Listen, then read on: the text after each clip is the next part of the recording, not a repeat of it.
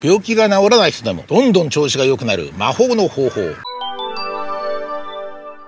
赤番さん38歳男性睡眠運動朝散歩を7年前から続けキックボクシングなどの激しい運動も週2回3時間を10年前から続けています。心療内科には12年間通い薬を処方されていますがあまり良くなりません。楽しいことを楽しいと感じたくなってから5年経ちます。絶望し疲れました。この系統の質問も非常によくある質問ですね。何回か前の YouTube ライブでも答えたかなと思うんですけども睡眠運動朝散歩や生活習慣改善などね樺沢がよくやってくださいねっていうようなノウハウはもう全部やってます。よと。それでもちっとも良くならないんです。っていうね方が多いんですけどね。じゃあそういう人どうしたらいいの？ってね何したらいいの？ってことですね。非常に難しいといえば難しいんですけど私から見るときちんと睡眠も取れて定期的な運動してて朝散歩もほぼ毎日のように行けてるしボクシングのような激しい運動も結構定期的に10年間も続けられるっていうことになると相当良くなってるように見受けられますけどもね。すごいことだと思いますけどね。普通の人でもなかなかできないと思うんですけどね。私はお聞きしたいんですけどそれに対してあなたはどのように感じてるんでしょうかと。全然できてないよ俺はもうほんと最低の人間なんだっていうふうに思ってるんでしょうねおそらく。ねこういう質問を来られるってことはね。なのでできてない部分を数えていくといつまでたっても全て100点満点になるということはありませんので皆さん年取っていくのでね樺沢も毎年毎年いろんなことができなくなって毎年毎年能力の低下を感じますけども人間は別に病気とか関係なく老化というものがありますので年を取れば取るほどですね能力っていうのは下がっていきますからいつまでも若々しい状態のままでいられるっていうことはこれ不可能なんですよね。ものすごく元気で調子がいい日が毎日続くっていうのは私ですらありえないですね。ぐっすり眠れたっていう日は週に2回か3回ぐらいあればいいし仕事もすごい思うようにできたっていうのも週に2日ぐらいあれば結構いい方だしね。今日は全然調子が上がらんぜっていう日も週に23日はあるしね。こんなに毎日毎日皆さん調子よく過ごしてるわけじゃないんじゃないかなっていうことをまず思いますけどもね。まずできない部分とできる部分って誰でもあるしできなかった今日一日で劣ってもできなかった部分とできた部分っていうのがあるのでいろんなことができてると思うんです。皆さん病気が治ってません回復してません。いろんなことをおっしゃるんですけどできてる部分もたくさんあるんですよね。良くなってる部分もたくさんあるんですよ。患者さん良くなったって言わないですね。本当に。例えば腰が痛いです。腰が痛いです。腰が痛いです。ってずっと言ってる患者さんに何かある薬を出してあげたら別にそれ言わなくなったんですよね。何回か通院してても全然腰のこと言わないからあれどうしたの？ずっと痛いって言ってたけど腰どうなった？そういえばって聞いたらいや最近なんともないです。それよりも今はですね頭が痛いんですよ先生。その腰とかいいから頭の方直してくださいよ。いやあれだけ1年以上腰痛かったのが私が処方した薬治ったんだからいや薬で治りました先生。腰は調子がいいんですの一言ぐらいあってもいいと思うんですけど全くないんですよ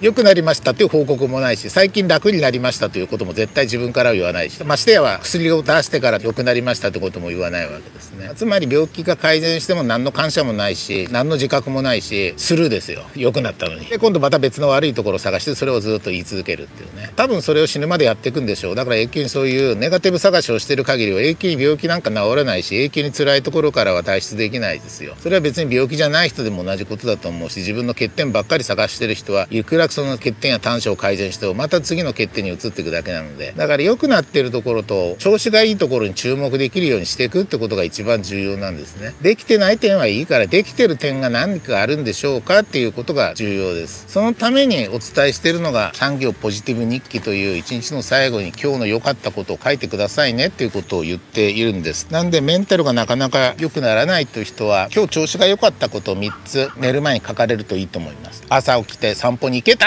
素晴らしいことですね。ご飯を全部食べれた素晴らしいことですね。青空が気持ちよかった素晴らしいことですね。午後になると頭痛がしてくるのに今日は頭痛がなかったなんかができたってわけじゃないけど頭痛がないだけで素晴らしいことですね。なので調子がいいとこ3つぐらいは必ずあるはずなんですよ。いつも出てくるような症状がなければもうそれは調子がいいっていうことだしね。何か一つでもできれば調子がいいってことなので。皆様方は朝から晩までずっと調子が悪いところを探してしています。ほとんどの患者さんはあるいは治りづらい患者さんはなかなか病気が治らないとおっしゃる患者さんは大体朝から晩までずっとあそこが悪いここが悪いここが不安だここが心配だってことをずっと考えてるわけだからそれは治らないわね。それがストレスになるし。だから今日調子がいいとかどこだろう？今日はいつもより元気なとこはどこなんだろう？っていうのを常に探すようにしていきましょう。そうすると意外とできてることが多い。少なくとも半年前1年前と比べるとできてることが多くなってきているはずですね。そこに対しての感謝というか自分自身頑張ってるなっていうことを自分で自分に褒めてあげてもいいしそれに対して関わってくれてる主治医に対してね感謝の言葉を述べてもいいと思うしいろいろあなたのことを心配してくれてる家族や友人に対してありがとうという言葉を述べてもいいと思いますけども良くなってるっていう自覚がないと感謝の気持ちなんか生まれないので恨み節しか言わないですね。10年も病院通ってんのになんで治んねえんだよおっしゃる患者さんが多いんですけども。だいぶ治ってますけどね。だいぶ治ってるんですよ。100点ではないけど80点とか90点ぐらいまでは治ってるんですけど患者さんは全然治らないというふうにおっしゃるんですけどね。100点には治らないと思いますよそれはね。100点の人いないしそもそも健康な人でもね。カバさんも70か80ぐらいですよ大体。日々の調子のねたまに90とか95ぐらい。いや今日調子いいなっていうね運動した次の日とかね。あるかもしれないけども。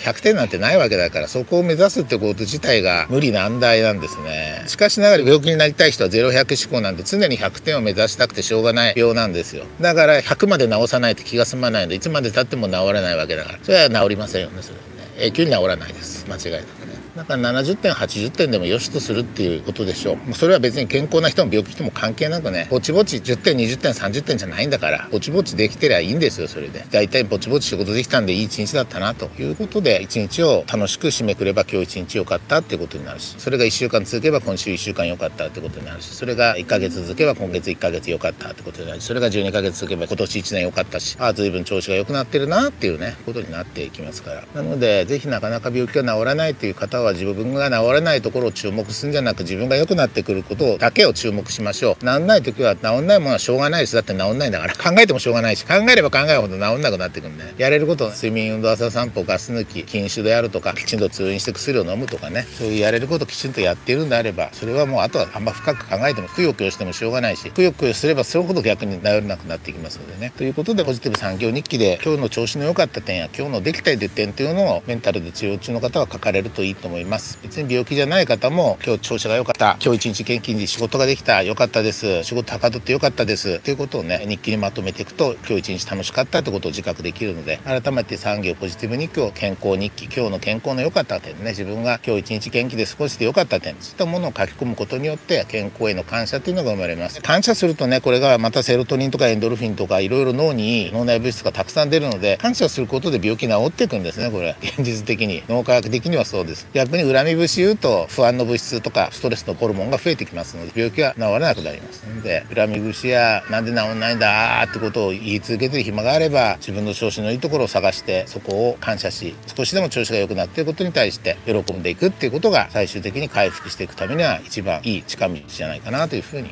思います。